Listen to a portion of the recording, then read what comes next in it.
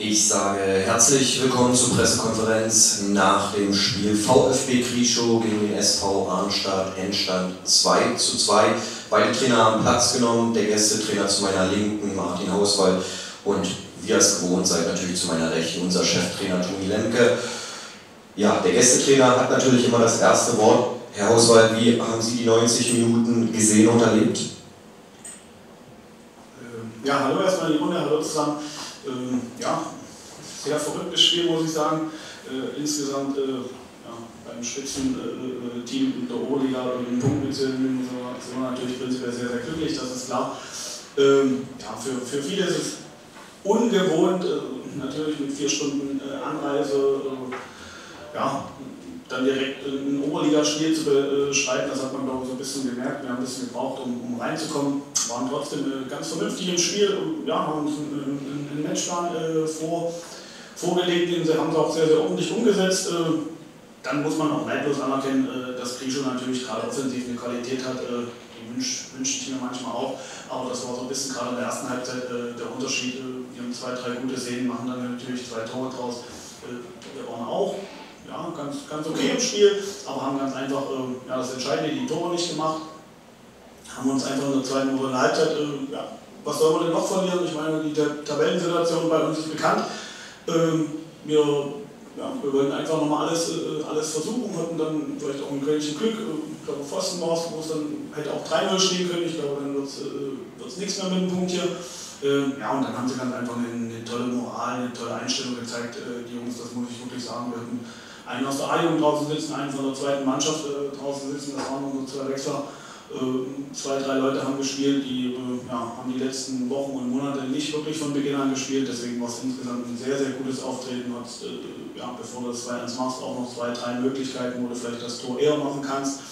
Aber äh, ja, insgesamt das Auftreten, äh, gerade in der zweiten Halbzeit, war, war beeindruckend zu sehen. Trotz unserer ganzen äh, schwierigen Situation äh, geben die Jungs wirklich Woche für Woche äh, Gas. Und ich freue mich ganz einfach, dass wir, äh, ja, dass wir was mitnehmen können, dass wir sich mit dem Punkt belohnt haben. Und da haben wir natürlich eine, eine, gute, eine gute Rückfahrt. Danke.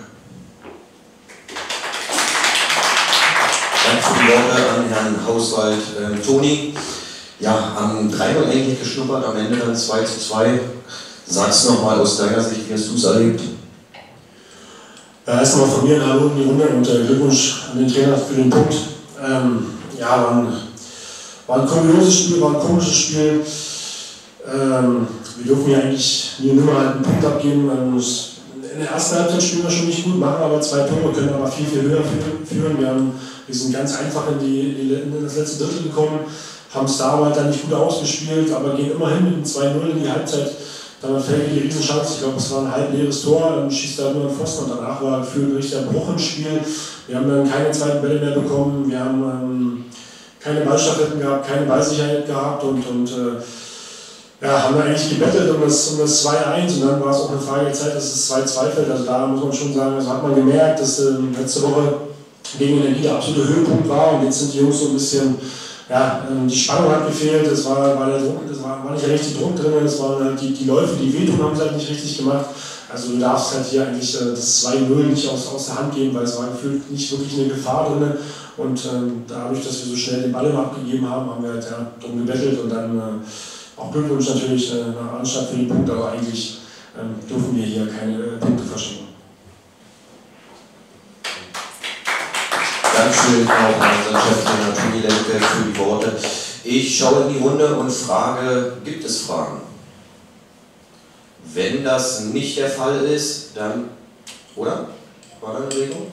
Ja, ich wollte mal fragen, äh, der, der zweite Platz steht ja trotzdem noch im Fokus. Ne? Also trotz dieser zwei verlorenen Punkte ist da noch alles drin.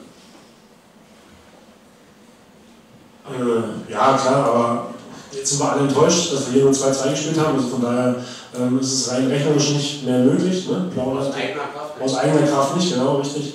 Aber jetzt müssen wir erstmal das Spiel ähm, aufarbeiten, verdauen und dann halt auch äh, die richtigen Schlüsse draus ziehen und auch halt die Mannschaft ansprechen, weil so können wir natürlich in der zweiten Halbzeit nicht auftreten. Das ist nicht unser Anspruch. Wir müssen halt dann äh, mehr Tore machen, mehr Ballsicherheit bringen und deswegen brauchen wir uns jetzt nicht über den, über den zweiten Platz äh, unterhalten. Natürlich wollen wir ihn erreichen, aber mit der Leistung erreichen wir, halten wir nicht mal den vierten Platz.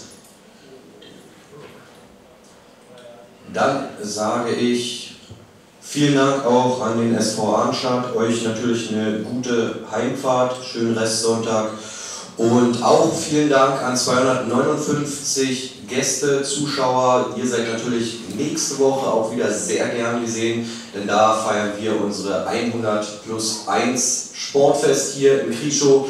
Natürlich dann auch mit dem Höhepunkt Saisonabschluss Heimspiel hier gegen Inter Leipzig ab 14 Uhr. Und ansonsten geht es natürlich ab Freitag schon ordentlich zur Sache. Bis dahin bleiben Sie uns bitte wohlgesonnen, gesund und glücklich. Vielen Dank.